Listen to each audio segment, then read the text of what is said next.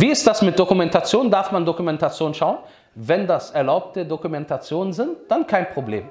Bedeutet, jemand möchte jetzt eine Tiersendung zum Beispiel sehen, Dokumentation, eine Tiersendung über Ali Schwarzer zum Beispiel.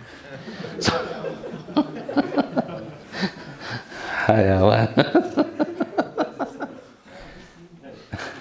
Hier sollst du auch das Bild dunkel schalten, ja? weil sonst bekommst du Angst mehr als vor dem Löwen. So. Äh, diese Hintergrundmusik, dann schaltest du leise. Thema ist gegessen. Okay?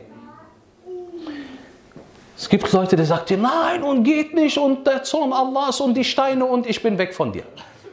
Subhanallah, er hat doch das, was verboten ist, alles eliminiert. Dann ist die Sache vergessen. So.